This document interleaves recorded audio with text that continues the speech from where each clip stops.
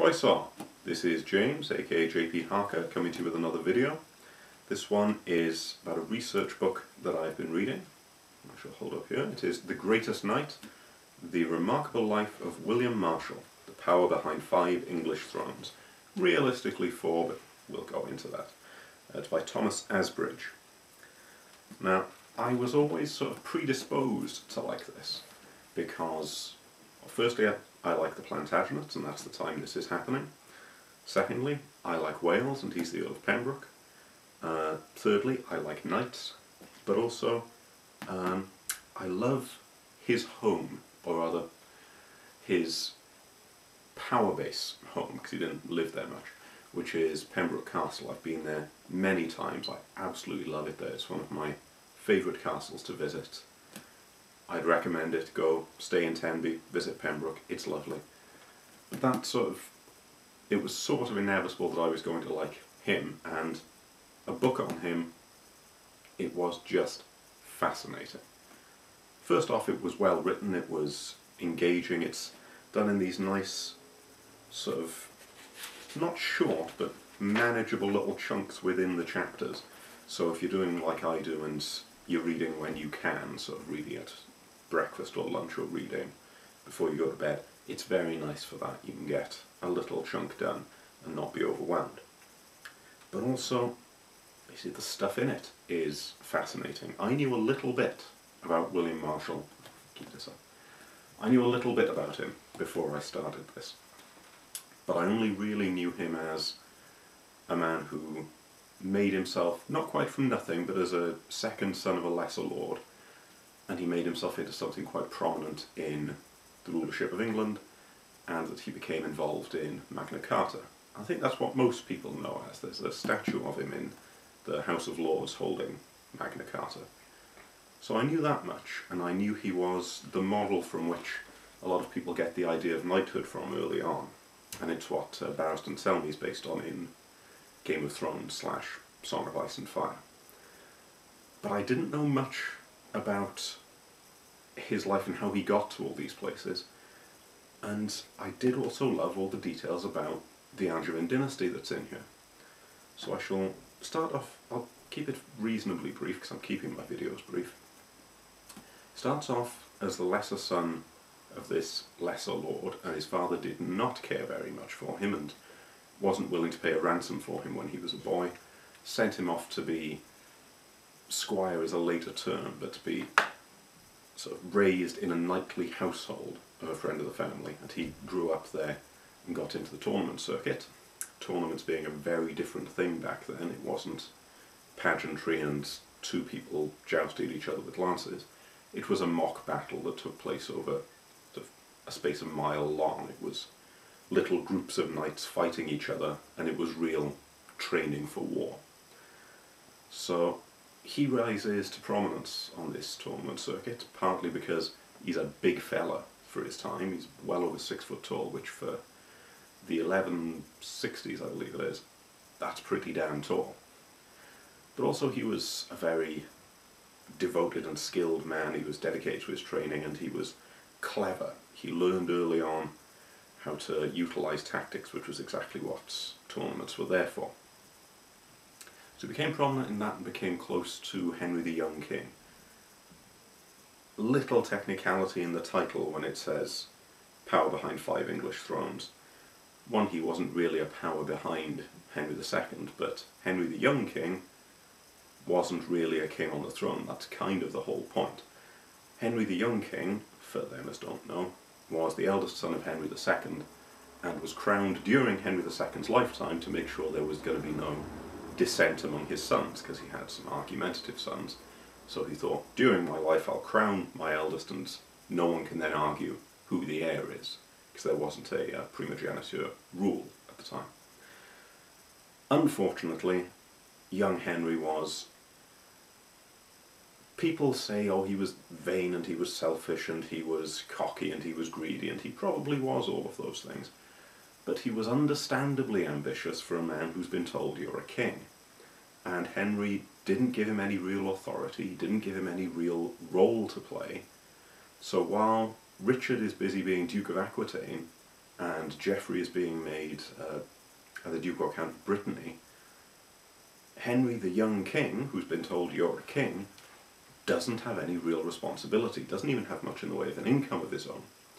So he gets quite resentful and leads rebellions against his father, just like Richard does, just like John joins in on. And it's interesting seeing more of his point of view. Most of what I've read about young Henry, it's how dreadful he is and how irresponsible he is. It's interesting seeing from the perspective of someone who was within his inner circle, even though there was a bit of a rift, but that was made up, and etc., etc.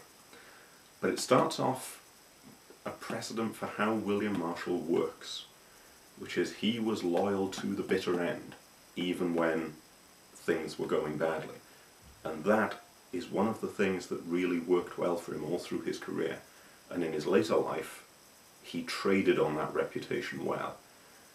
Even after Henry the Young King had lost everything and was dying and everything had gone horribly, horribly wrong, everyone's abandoning him, William Marshal stays loyal. Later when Henry II is losing wars and he's getting old and he's dying and it's all going wrong and people are abandoning him, William Marshal remains loyal.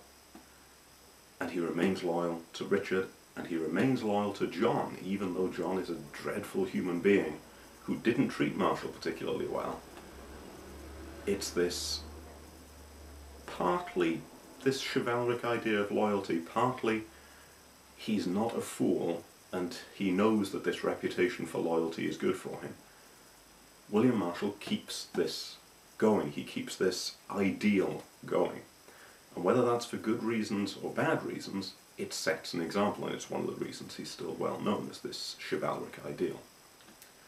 So I've gone on a little bit, but that's something I found interesting. I found his personality interesting. They go into a little depth about it because we all like this perfect knight, this greatest knight persona, but it does show he wasn't above being a little sneaky now and then. He wasn't above grasping for promotion when it was available, and he wasn't above realizing it's not just about my personal honor and dignity. This reputation I'm cultivating is useful, and it really, really was. When he got to the point where he was essentially running England, and as I say, was involved in Magna Carta and was putting the very young Henry III into power, it was that reputation as much as anything else. Because yes, he was rich and he was powerful, but lots of people were rich and powerful. It was this thing that he could trade on and that people could deal with him in good faith, which they couldn't with John. So I found that interesting, that he had this ideal, but it wasn't necessarily for the right reasons we don't know. Another little thing I found interesting that I didn't know was his wife, Isabel de Clare. We all know the de Clares, of course, uh, Marcher lords in Wales, very, very rich and powerful. And I hadn't appreciated how much he valued her input and her counsel. More and more when he's off fighting in Ireland, or when he's trying to stay on the good side of John, there's frequent references to him asking his wife her opinion and asking her to keep an eye on things. And the various sort of lesser lords and knights who were gathered around him they're also listening to what she has to say. And I had always assumed she was just a means to an end because she was an heiress and she was his way of getting into more power and more wealth. I hadn't appreciated that she was someone who he valued in the way that he did and who, after his death, she mourned him very, very sincerely. And he was clearly very emotionally close to his children you don't see that much in aristocratic men of this time. So I, I know I've banged on about it, but it is interesting to see that you've got this paragon of virtues who isn't really a paragon of virtues, and yet you then see him do things that are very paragon of virtue, and you see him be unusually noble, but there's, is he doing it for the right, I don't know. It's, it's what made it interesting he's very, very human and he's very, very complicated. And I just really liked that. I loved the idealism, I loved the complexity, I loved the historical context, and as I say, it's well written. So, I've sort of gushed about this for long enough, I think. The Greatest Knight by Thomas Asbridge. I would highly recommend this if you're at all interested in the beginnings of chivalry, or in medieval history, or even just a well-written bit of historical documentary over an individual's life. I'd recommend it. I would go out and buy it. Yes, I know I got it buy one, get one half price, but that's just me. I would recommend this, very much so. I think I shall leave this glowing praise at that. The Greatest Knight, story of William Marshal. Very, very good. It's made me want to learn even more about him if I can, and I will recommend it to pretty much anybody. So, on that note, this is James, aka JP Harker. Hwyl fawr.